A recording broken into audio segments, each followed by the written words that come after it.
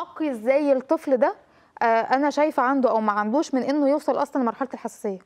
طيب إحنا زي ما اتفقنا في أطفال عندها استعداد أوريدي. يعني تمام. أنا لو أنا مثلا أنا وزي ما اتفقنا زوجتي عندنا حساسية فانا أتوقع إن ابننا عن هي هيبقى مريض حساسية أنف يوما ما.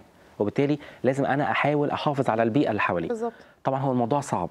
يعني. خلينا نتكلم عمليا. يعني مثلا صعب قوي أقول أب وأم ما تعرضوش ما تعرضش ابنك لتراب. صعبة. خاصة زي ما حضرتك بتقول إن اللي عندهم family history اللي عندهم تاريخ عائلي يعني. بالظبط. فبنحاول بنحاول نتجنب حاجة اسمها بنسميها مثيرات الحساسية.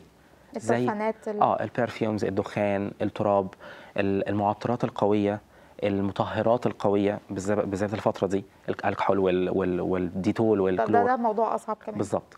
فبنحاول على قد ما نقدر نبعدهم عن الحاجات دي لأنه أول خطوة في علاج حساسية الأنف والصدر هي نمرة واحد تجنب مثيرات الحساسية مم. في برضو حاجة كمان إحنا ما بناخدش بالنا منها خالص هي إنه تغيير الجو المفاجئ للطفل هو نفسه مثير للحساسية بمعنى إنه لو أنا قاعد في مكان مكيف فترة طويلة قوي ملبسات تقيل لا خالص هي المشكلة هنا يعني آه. الأنف يعني أنا مهما كنت لابس لبس تقيل. الهواء الساقع اللي. داخل هيخش عن طريق الانف مهما كنت ملبس كويس.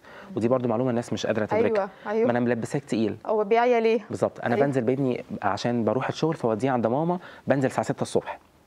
وعلى طول مناخيره مش متحسنة مع إني ببقى ملبساه.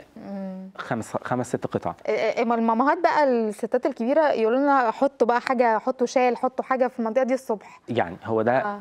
يعني حاجة تساعد شوية بس آه. برضه عملية مش. عملية قوي فالطفل مثلا اللي بينزل من جو دافي قوي لجو ساقع قوي في الشتاء أو بيقعد في تكييف فترات طويلة ويخرج على جو آه، سخن فجأة ده لوحده مثير للحساسية okay فأحد مثلا النصائح اللي بنقولها للأمهات والأطفال نازلين مدارس الصبح في الجو دوت إنها ما تنزلوش فجأة يعني إيه اللي بيحصل في بيوتنا؟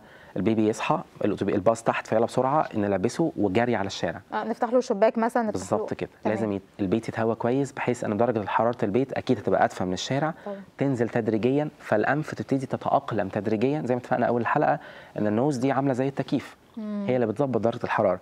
فلما أبقى قاعدها في درجة حرارة دافية مثلا 20 أو 25 وأنزلها على درجة حرارة الصبح بدري 9 أو 10 أو 11 في الشتاء الشديد الشوك ده لوحده مثير للحساسية.